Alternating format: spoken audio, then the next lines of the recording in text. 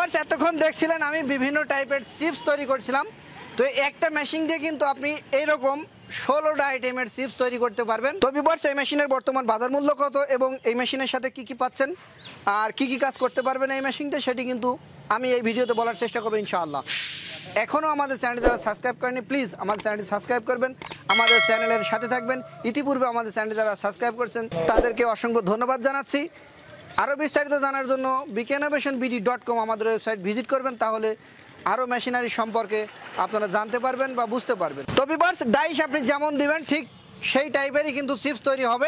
এখানে আমি আপনাদেরকে দুই ধরনের চিপস তৈরি করে দেখালাম। ইতিপূর্বে আমরা কিন্তু কাটিং সিস্টেম দেখিয়েছি। তো সেই ভিডিওটা কিন্তু এই ভিডিওর শেষে লিঙ্ক দেওয়া থাকবে।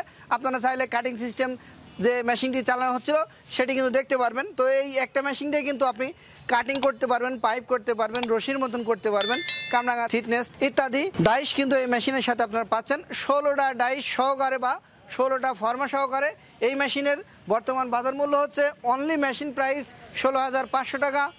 যদি কিনা এরকম ফুলফিল সেট আপ নেন, এই গাড়িটির মূল্য হচ্ছে এক একটা গাড়ির এক এক ধরনের দাম হবে। তো আপনি যখন ক্রয় করবেন, আলোচনা সাপেক্ষে কিন্তু আপনার সেই মেশিনের বাজার মূল্য ধরা হবে। আপনি যখন ক্রয় করবেন, তখন আমাদের সাথে সরাসরি এসে কথা বলে আপনি ক্রয় করে নিতে পারবেন। তো এটি হচ্ছে বারো হর্স পাওয়ার ইঞ্জিন ব্যতীত আপনি সাড়ে আট হর্স পাওয়ার একটি ইঞ্জিন দিয়ে ব্যবহার করতে পারবেন। এর চেয়ে একাধিক বড় ইঞ্জিন দিয়েও আপনি চাইলে এই মেশিনটি ইউজ করতে পারবেন। যদি কিনা আপনি ইলেকট্রিক লাইন দিয়ে চালান, সেক্ষেত্রে ফাইভ হর্স পাওয়ার একটি বৈদ্যুতিক মোটর দিয়ে আপনি এই মেশিনটি ব্যবহার করতে পারবেন। এই মেশিনের ক্যাপাসিটি হচ্ছে প্রতি ঘন্টায় পঞ্চাশ থেকে ষাট কেজি চাউল আপনার। প্রোডাকশন দিবে। আপনারা যদি একটু লক্ষ্য করে ভিডিওটা দেখেন, তাহলে দেখতে পাচ্ছেন কি স্পিডে চাউলগুলো বাইরে হয়েছিল চিপস তৈরি হয়ে। তো মনে রাখবেন, এখানে কোনো প্রকার ভোজ্য তেল বা জ্বালানি কোনো কিছুই ব্যবহার করা নাই। মেশিনের ভিতরে যে তাপ সৃষ্টি হবে, সে তাপের সাহায্যে কিন্তু সরাসরি চিপস ভেজে বাইরে হবে। এখানে কোনো প্রকার জ্বালানি বা ভোজ্য তেলের প্রয়োজন নাই। তো এখানে আপনি চাইলে চাউলের ব্যতীত ডাউল ইউজ করতে পারবেন, আপনার মুখরুচি করার জন্য ভুট্টা ইউজ করতে পারবেন, একাধিক মশলার সংমিশ্রণে এই চিপস তৈরি করতে পারবেন। আপনি চাইলে বিভিন্ন প্রকারের কালারও ব্যবহার করতে পারেন, সেটা কিন্তু ক্ষতিকর জিনিস।